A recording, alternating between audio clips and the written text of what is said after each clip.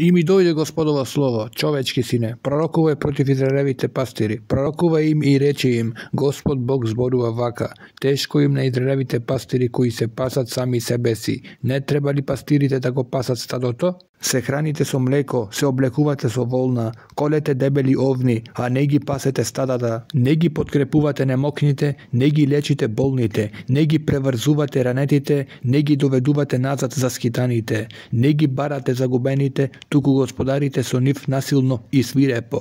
И така овците се распрснаа немајки пастири и распрснати им станаа плен на зверовите. Овците скитаат по сите гори и по високите брегови. Моите овци се распрснати по сета земја и никој не прашува за нив. Нема никој да ги бара. Затоа пастири, чујте го Господовото слово. Животот ми мој говори Господ Бог, затоа што моите овци им станаа плен и храна на зверовите, не мајки пастир, додека моите пастири не ги бараа моите овци, туку се пасат самите себе, а не го пасат моето стадо. Затоа пастири, чујте го Господовото слово. Господ Бог зборува вака: Еве ме против пастири овците, ке ги барам своите овци од нивните раце и не ке им дадам веќе да ми го пасат стадото, ниту самите себе си да се пасат. Ке ги истргам овците од нивната уста, не ке имаат веќе храна, зашто вака зборува Господ Бог, еве ме, самиот ке ги побарам моите овци и самиот ке ги пасам. Како што пастиро се грижи за своите овци, која ќе се најде покрај распрснатото стадо,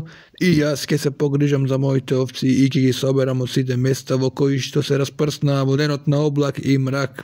Ќе ги изведам од народите и ќе ги соберам од земјите и ќе ги доведам во нивната земја за да ги пасам по Израелевите гори, по сите речни долини и по сите населени места во нивната земја. Ќе ги пасам по прекрасни пасишта, трлата ќе им бидат на високите Израелеви гори, таму ќе одмараат во добри овчарници и ќе пасат по сочни пасишта по Израелевите гори. Самиот ќе ги пасам своите овци и самиот ќе им дадам починка, зборува Господ Бог ќе ја побарам загубената, ќе ја доведам назад за скитаната, ќе ја преврзам ранетата и ќе ја подкрепам немокната, ќе бдеам над дебелата и силната, ќе ги пасам праведно, а вам, овци мои, Господ Бог ви зборува вака, Еве ме за да судам меѓу овца и овца, меѓу овните и јарците. Зар вие малку да пасете на добро пасиште, та остатокот од пасењето го газите со носете, а моите овци треба да го пасат тоа што вие го изгазивте со носете, да го пијат тоа што го замативте со носете. Затоа Господ Бог зборува вака: Еве ме за да судам меѓу дебелата и слабата овца, зашто со страните и со плеките, бодејки со роговите, ги туркавте мршавите овци, додека не ги истуркавте.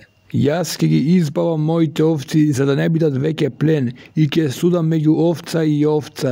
Ќе им поставам еден пастир кој ќе ги пасе, мојот слуга Давид. Тој самиот ќе ги пасе и ќе им биде пастир. А јас, Господ, ќе бидам нивни Бог и мојот слуга Давид ќе им биде кнез посред нив. Јас, Господ, реков, и ќе склучам со нив завет на мир, и ќе ги остранам од земјата сите диви зверови, и ќе живеат мирно во пустината и ќе спијат по горите. Ке ги направам благослов нив и сите околу мојот рид, и ќе им дадам дош на време. И тоа ќе биде дош на благослов, и полските дрва ќе донесуваат плодови, а земјата ќе го даде својот род. И тие ќе живеат мирно во својата земја, и ќе знаат дека јас сум Господ кога ќе ги скржам жезлите на нивниот јарем и кога ќе ги избавам од рацете на оние што ги поробија. И не ќе бидат веќе плен на народите, а зверовите веќе не ќе ги јадат лакомо, туку ќе живеат мирно и никој не ќе ги плаши. И ќе направам да станат бујни нивните славни санници и гладот веќе не ќе ги сотира во земјата, веќе не ќе го поднесуваат срамот на народите. И ќе знаате дека јас сум Господ нивниот Бог со нив и дека тие се Израелевиот дом, мој народ, говори Господ Бог, вие овци мои, вие сте стадо на моето патство, вие луѓето, а јас сум ваш Бог, говори Господ Бог.